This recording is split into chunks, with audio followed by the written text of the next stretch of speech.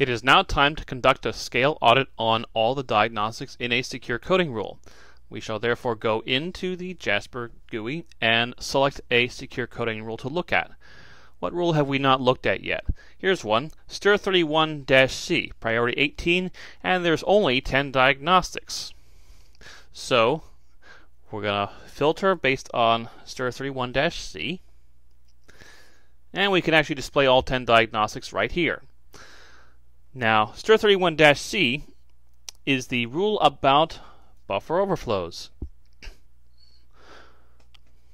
It simply says guarantee that storage for strings has sufficient space for character data and the null terminator. So this is not only just about buffer overflows, it's about buffer overflows for strings.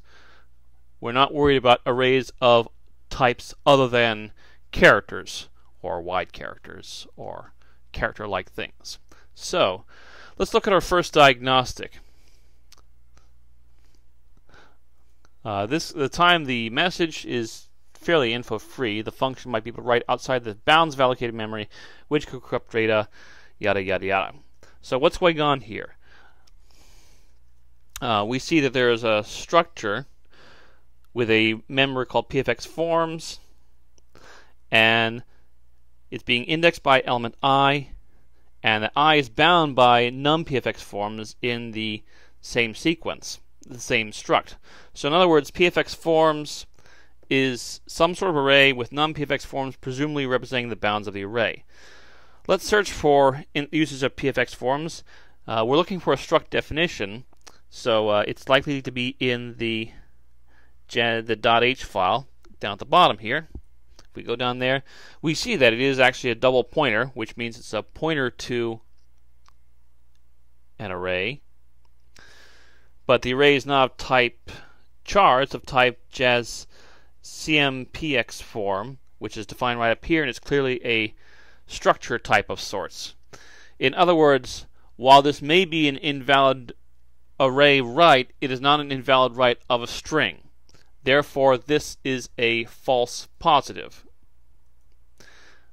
Now, there are nine other diagnostics, but if we look, we'll notice that there's some overlap in the line numbers. So let me sort by line numbers and see what we have here. Uh, filter. So there's four diagnostics about line 346 and four about line 635. These are all produced by Fortify, and the reason there are four of them is because Fortify looks at applications. There are four applications and four instances of a main function, and each application has the same problem, although this problem turns out to be a false positive. So I'm just going to mark these all as false. And move on to another diagnostic. Let's look at another diagnostic complaining of buffer overflow. This top one says the format string argument to sprintf, and the rest of the message is fairly information free. So it's complaining about a buffer overflow on sprintf, which is quite plausible. sprintf prints fills buff with a format string created from this format string and its arguments. Obster is a string, as we can see from percent %s, and overhead is an integer. So unless buff is considerably bigger than obster, then this material will overflow buff. But in order to ascertain that, we need to know how big buff is and how big obster is. Uh, besides obster, you know, there's uh, what 20 characters here, and there's 10 characters from a stringification of overhead. So 25, 30 characters. So how big is buff? If we look at that, then uh, well, buff is used in an awful lot of locations. But if we go to JPT, JP2 Inc. down here, we can see that right before the buff call, the sprintf call, buff is 4096. So that answers that question. But how big is obster? And furthermore, obster if obster is null, then clearly this thing simply prints an empty string and no buffer overflow is possible. So we want to know if obster could be a string that's 4096 characters or more. So if we click on obster, then we go to enc JP encode, JP2, okay, here we are.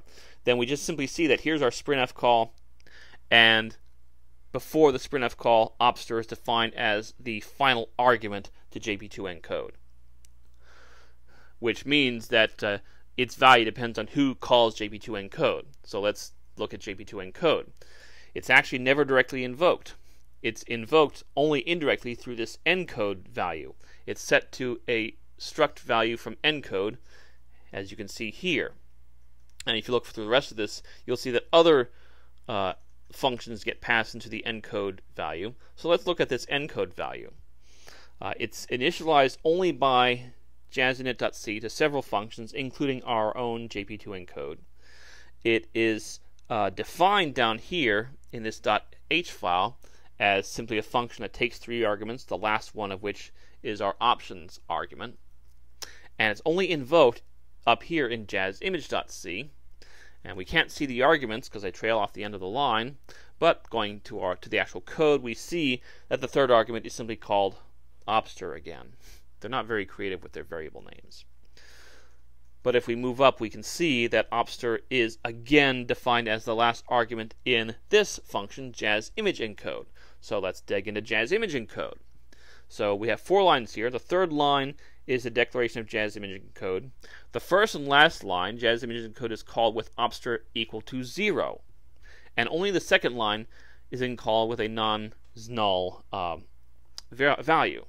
So only this line might possibly have buffer overflow. The other ones will not. And in this case, it's called with this variable, uh, outops. So what is outops? it just keeps getting deeper and deeper, doesn't it?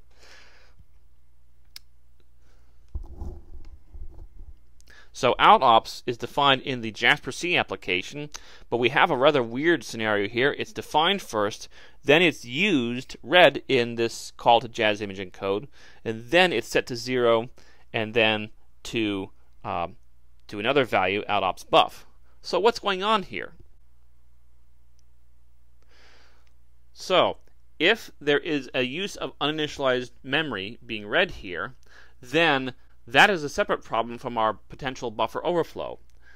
Since we have a CERT secure coding rule preventing reading of uninitialized memory, I'm going to trust that our static analysis tools would flag this as a problem if it indeed is a problem, and I'm going to trust that whoever audits that part later will investigate that part. So for now, I'm going to assume that command ops is initialized, and which means it has to be initialized either to null, which is not a problem, or to this value, which may be a problem. So let's go here. And we can see that outops buff is initialized by this addopt function, which takes a string and calls strlen on it, but more importantly calls strcat. So it builds op string from smaller components, but there's another wrinkle, and that is it makes sure that opster cannot be larger than maxlen. Maxlen serves as the bounds to the string. So that is the check that we want to make sure can prevent buffer overflow. If we go back, we can see here that the maxlen value is this opsmax, uh, probably a macro. And what is the value of opsmax? The value of opsmax is 4096 which means that Opster can be up to 4096 characters. So let's recap. Back to our original statement, we are comparing the length of buff and of Opster, and we found that buff is 4096 characters and Opster can be up to 4096 characters. In other words, if Opster is close, say 4095 characters, then we can have buffer overflow thanks to this format string and the stringification of overhead. Therefore, this diagnostic is true. And since this diagnostic is true, these other diagnostics, which are duplicates, are also true. Now we have several diagnostics we haven't looked at. There's two remaining ones that are unknown, and we could analyze those as well, but this is already a long audit, and so I'm going to just be lazy and mark them as suspicious because we found at least one true diagnostic. So the last thing to do is that since we have a true diagnostic, it behooves us to produce a blurb about this diagnostic that we can show the client to convince them that they have a serious problem with their code. So here is our blurb. It's fairly straightforward. Again, it highlights the call to sprintf that is problematic. It kind of glosses over the complex analysis we did, but it does contain the important fact that both buff and obster are 4096 characters. Then it contains the uh, CERT rule being violated and concludes with several possible solutions, such as using a call to snprintf rather than sprintf. Snprintf is a drop-in replacement for sprintf. It simply it takes the same arguments, but it takes an extra argument indicating the length of the destination buffer. And if the format string is too large to fit in the destination buffer, the format string gets truncated, which is much better than having a buffer overflow. That concludes the buffer overflow audit.